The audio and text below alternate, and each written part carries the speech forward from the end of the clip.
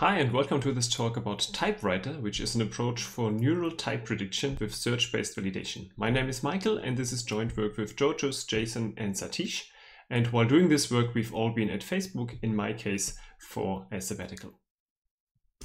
The motivation for this work is that dynamically typed languages have become very, very popular, but they are lacking type annotations. So in code written, for example, in Python or JavaScript, developers by default do not add type annotations, which leads to a lot of problems. One of them, the most obvious one, is that you may have type errors that are not statically detected, but maybe only at some point once your program is running. Of course, type annotations are also useful to understand APIs. So if you ha don't have type annotations, the APIs will be harder to understand. And finally, the lack of type annotations also leads to pretty poor IDE support because IDEs can make better suggestions if they know about the types of functions and variables and so on. Fortunately, there's this idea called gradual types, which means that you can add some type annotations to your program, and then type checking will be done only on these added type annotations. But of course, someone still needs to add these type annotations to an existing code base, and it turns out that programmers do not really like to spend a lot of time on annotating types. So how can we automatically add types to an existing code base? There are essentially three options. Option number one is static type inference. So it's a static analysis that typically um, works conservatively. So whenever it suggests a type to you, then this type is guaranteed to be um, correct. But in practice, these tools turn out to be pretty limited because dynamic languages are inherently hard to um, analyze. Option number two is dynamic type inference. So here you're running your program and then at runtime you're observing some types and then you add these types um, to the source code. The problem is that depending on the inputs, you may see some types, but not all possible types. And of course, you may also miss a lot of types if not all code is covered. Option number three, and this is what we'll use here in this talk, is probabilistic type prediction, where you have some kind of model that learns from, for example, existing type annotations that you have in some part of the code base, and then learns how to predict more types um, that you can then add to your program. One popular way of doing probabilistic type prediction are neural models to predict types. So these are deep learning based models that look at the source code and some pieces of information in the source code in order to suggest type annotations. For example, these models look at identifiers because identifiers often give um, great hints about the types of functions and variables. They may also look at comments because this natural language information is also pretty helpful to guess what type um, you should annotate. And of course, they also look at the code, for example, in the form of code tokens. There have been a couple of popular models um, proposed over the um, past few years, and we will actually compare to those in this work here. Now, these probabilistic type prediction approaches have a lot of advantages, but they also bring um, a couple of challenges. Two important challenges are listed here. So the first one is imprecision.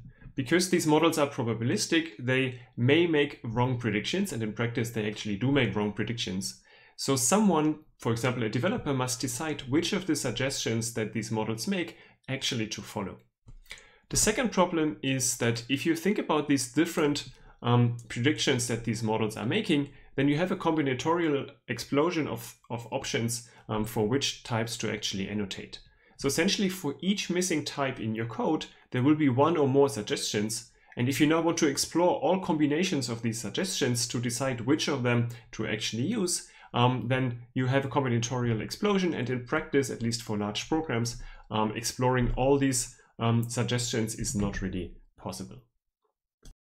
So let's illustrate this problem with an example, which is a piece of Python code. So here we have two functions. One is called find match, and it takes an argument called color that is compared against a list of colors returned by this helper function getColors. And then if a color um, was found, that color is returned and otherwise the function returns none. Now, if you want to add type annotations to this code, the, a neural type prediction model may, for example, make the following predictions. It may suggest that this argument called color is an int, and if this is not correct, then maybe it's a string or maybe it's a boolean. And likewise, the model will make predictions for the return type of this find match function and also for the return type of the get colors function. Now the naive approach would be to just take the topmost predictions and if you uh, add all these three type, type annotations to the program, you will actually get some type errors. For example, because um, this function argument color is annotated to be an int, but at the same time uh, returned here where the return type is supposed to be a string, which simply doesn't go well together. Now it turns out the correct type annotations are also in this list, um, in these lists of uh, type predictions. So the challenge is to actually find them among the suggestions made by the model. Now this is exactly what our approach does, and this approach is called typewriter. Typewriter takes as an input a program and wants to return to you a program with type annotation. So it's essentially taking your code and writing types into it just like a typewriter. It does so in two steps. The first step is to use a probabilistic type prediction model, which in our case is a neural network that combines information extracted through a lightweight static analysis and feeds this information into um, a prediction model, which then returns a list of type predictions for every um, code uh, location where a type annotation is still missing. Now, given this list or these lists of type predictions, um, we then use a static type checker and a feedback directed search to search for consistent types among the predictions. As you've seen, not all the predictions will lead to a type, uh, type correct program. So the challenge is to actually find those that do and to only annotate the program um, with those type annotations that give you an overall type correct program at the end. Now let me go through these different components of typewriter and let's start with the first one which extracts information about the source code and in our case it does extract both natural language information and programming language information. On the natural language side what it does is it will extract the names of functions, the names of arguments and also function level comments because all these pieces of information are useful for predicting the types of functions. On the programming language side, it's going to um, extract occurrences of the to be typed code element in the code and code that is surrounding these occurrences of this program element. And it's also going to extract the types that are made available through imports because those give you a hint about the types that the program um, might actually want to use. Let's illustrate this with our example again. So here's again the same Python code as before. One piece of natural language information that typewriter is going to extract are the identifiers that are associated with the to be typed program element, for example, with this function where we extract the name of the function and the name of the parameters. Another piece of natural language information are function level comments like this one, which in this case give a great hint about at least one of the types because it tells us explicitly that the color argument should be of type string. In addition to this very useful natural language information, typewriter is also extracting programming language information. In particular, it's looking at every occurrence of the code element that we want to type. For example, it's looking at all occurrences of this um, parameter called color and then looks and then looks at the tokens around this um, color parameter and extracts this sequence of tokens. Um, so there's one occurrence here and another one down here, and for each of those, um, typewriter is extracting the surrounding tokens.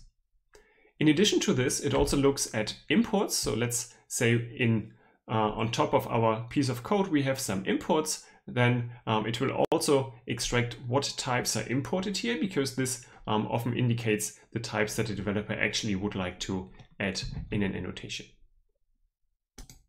Now, after extracting all this information, it is given to our neural type prediction model. So the input to this model are the code tokens, the identifiers, the comments, and the available types that are associated with a particular code location.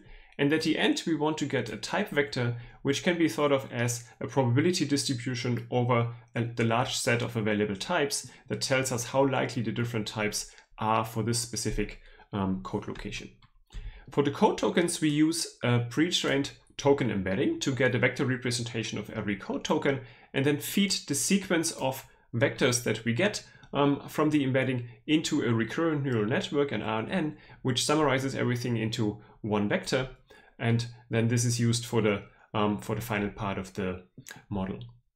Um, we take a similar approach for the identifier and the comments, just that we now use a word embedding, so that's a pre-trained embedding um, for natural language words. Again, the identifiers and also the comments are summarized into a single vector using an RNN. And then we also have this um, vector of available types. And all of this is given to um, a hidden layer, which at the end feeds everything through um, the softmax function so that we get um, a probability distribution over the set of available types. Now what this model gives us is a list of predictions for every code location where a type is missing. And now the second part of the approach is going to search through these predictions for a set of consistent type annotations that we can add to the program while still having um, a type correct program. So what we get here is um, the list of top k predictions for each of the missing types. And then we filter these predictions using a gradual type checker. So we use one of these many existing gradual type checkers. For example, you can use Pyre or MyPy for Python or Flow for JavaScript. Now the challenge here is that this turns out to be a combinatorial search problem because if we have a set S of type slots and we have k predictions for each of these slots, then the number of possible type assignments, so ways to assign types to these slots, is exponential in the number of type slots. And in practice, because programs are large and because there are many missing types, um, this space is too large to really explore exhaustively. Instead of exploring this space exhaustively, we're looking at different variants of the program P that each use a different um, type assignment, so each add a different set of types. So let's say we're starting with um, the program as it is given to us, so it may already have some type annotations or maybe doesn't have any. Then there are different um, ways of adding types, and you can think of this as um, a tree that we are exploring, where we, um, whenever we take an edge, either add, remove, or replace some types, and then do so in order to explore the space while not trying all um, possible annotations. Now the question is which of these variants do we actually want to explore first and how do we navigate this search space in, um, in an efficient way? The answer is that we use a feedback function that guides this exploration of the search space. What this feedback function does is to look at two things. The on the one hand, we want to minimize the missing types in the program. So we want to add as many types as possible, while also minimizing the number of type errors that we are introducing. At the end, we actually do not want to have any type errors so that we are guaranteed to get a type correct program. To do this, um, the feedback function combines both the number of still missing types and the number of type errors into a feedback score, which is basically just a weighted sum. Um, by default, we give type errors a higher weight so that we do not really um, favor adding uh, incorrect type annotations, but um, in case of doubt, do not add a type annotation instead of introducing a type error. Given this feedback function, TypeWriter is now exploring the search space, trying to minimize the feedback scores or trying to get um, as many type annotations as possible without introducing type errors. Our search um, space exploration works in an optimistic way, which essentially means that TypeWriter is adding the topmost predicted types everywhere and then removes or maybe refines some of these types in order to reduce type errors.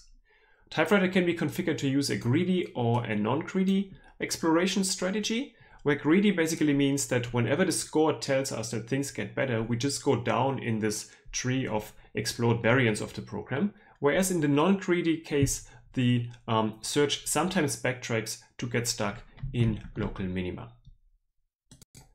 Let's look back at the example that we've seen before. So just to remind you, the probabilistic um, type prediction model will give us some predictions for each missing type annotation, for example, these predictions here.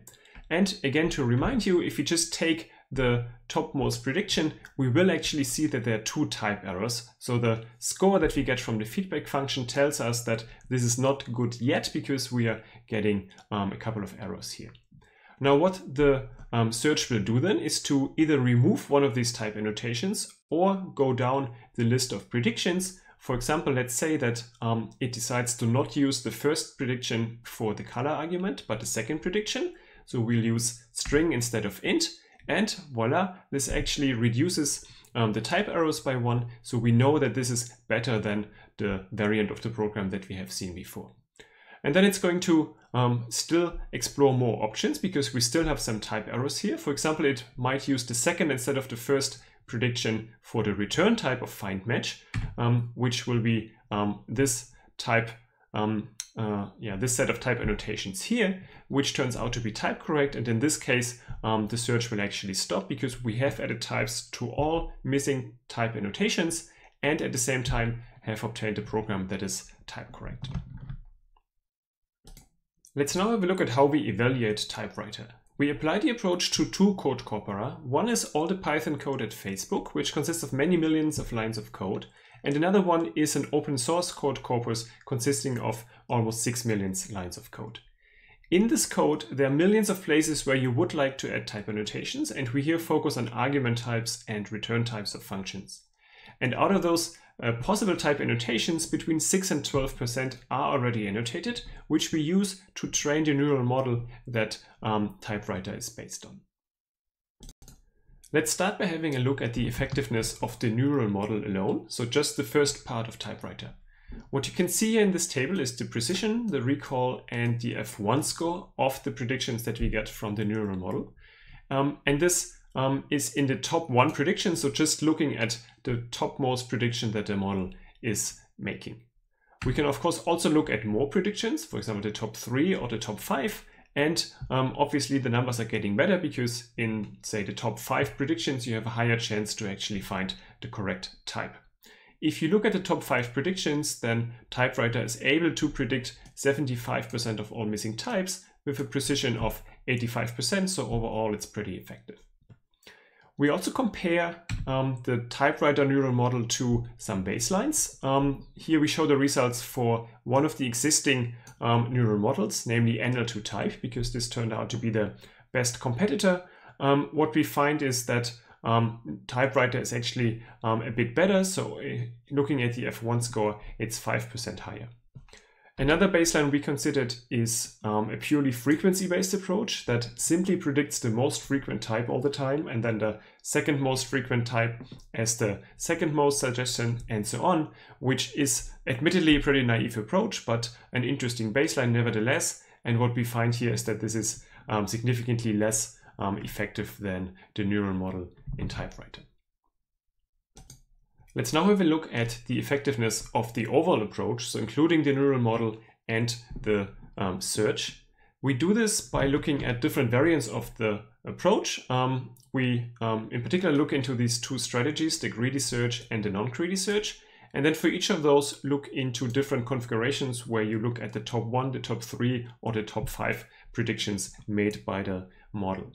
And then what we show here are the um, number of correct type annotations where you can consider two definitions of correct. One is um, the number of type correct annotations. So all the annotations that do not lead to a type error.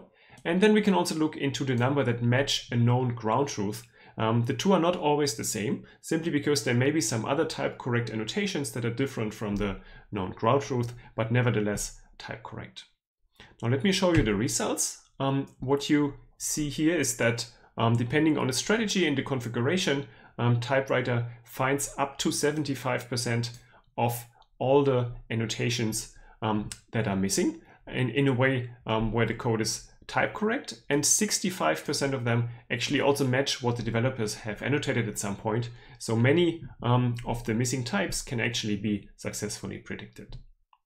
We also compare typewriter to an existing static type inference approach, namely PyRE-Infer, and what we find here is that it also can predict some of the types, but the percentage is much, much lower. And actually almost all these types are subsumed by the types predicted by typewriter. So typewriter is strictly better than the static um, type inference. While overall we're pretty happy with the results, there are of course some limitations that future work could address. One of them is um, that type correctness does not equal soundness. So if a type is type correct according to the type system, that does not imply that a developer actually wants to use that type, because sometimes there are multiple type correct types and a developer may only like one of them. Another limitation is that typewriter is based on a fixed type vocabulary. So that means there's some rare types that it just cannot predict, and it would be interesting to address that limitation.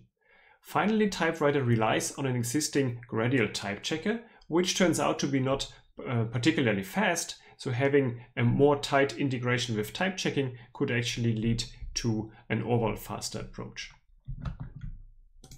So in conclusion, I've presented Typewriter, the first neural type prediction approach that uses search-based validation. So it's combining a neural type prediction model with a gradual type checker to make sure that every annotated type that is added to the code is actually giving you a type correct program. Typewriter um, is being used at Facebook right now and has already annotated thousands of otherwise missing types. Thank you very much for listening. If you have any questions, feel free to ask them in the Q&A session at FSE, or if you listen to this later, feel free to email me or one of the other authors, and we'll be happy to answer any questions. Thank you very much.